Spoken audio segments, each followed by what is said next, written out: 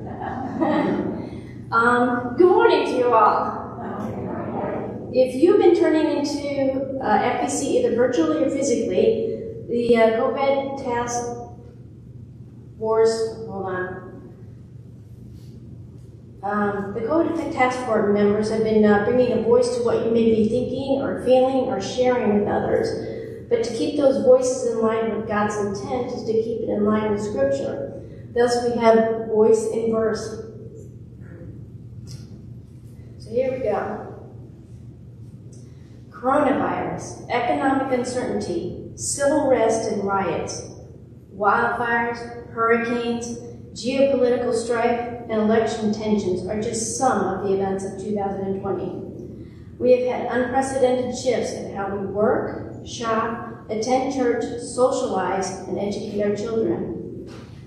Emotions are all over the place and can change quickly. As Todd and Jenna have previously shared, these emotions are raw and real. So, what emotion or voice will I share today? What have I been hearing or feeling in 2020? All of it. But what stems, what seems to be prevalent, what I see is anger and hate. That is what my voice is sharing today anger and hate. I hate the ugliness I see in the news. I hate that we fight amongst ourselves. I hate the passive aggressive memes I see on Facebook. I hate seeing the unloving and unkind chat forums. I hate the dogmatism and the divisive rhetoric. I hate the rampant fear. I hate the horrid circumstances that many, many people are facing. They're amped up by this year's cataclysmic events. And I especially hate that God's name is being dragged through the mud. At times, living in this world feels like a mixed up, nonsensical horror movie that just won't end. And it makes me sad and angry. I feel so frustrated and torn up inside. So, what do I do with it?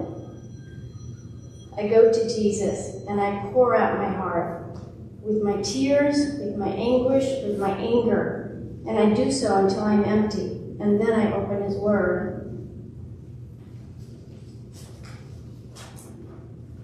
King David brings a lament that speaks to my heart. Psalm 28. I'll read verses 1 through 3 and 5 through 7 of Psalm 28. To you, O Lord, O Lord, I call, my rock, do not be deaf to me, lest you be silent to me. I become like those who go down to the pit. Hear the voice of my pleas for mercy and when I cry out to you for help, when I lift up my hands towards your most holy sanctuary, do not drag me off with the wicked, with the workers of evil who speak peace, who speak peace with their neighbors while evil is in their hearts. Because they do not regard the works of the Lord, nor the works of his hands. He will tear them down and build them up no more. Blessed be the Lord, for he has heard the voice of my pleas for mercy. The Lord is my strength, and he is my shield, and in him my heart and I am helped. My heart exults, and with my song I give thanks to him. I also find that Jeremiah's, Jeremiah's words are also a balm to my wrestling heart.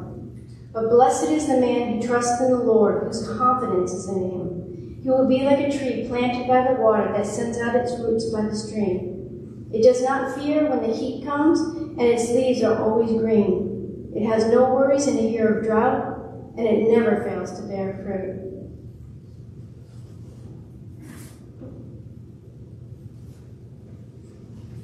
So I trust in him yet again. I rest in the one who knows all and sees all. I do not know how this year will end or even how next year will wrap up, but I do know that God can and is to be trusted, and that I can leave my anger with him to do the work he has called me to do. So thank you for giving me this time for sharing my voice and verse.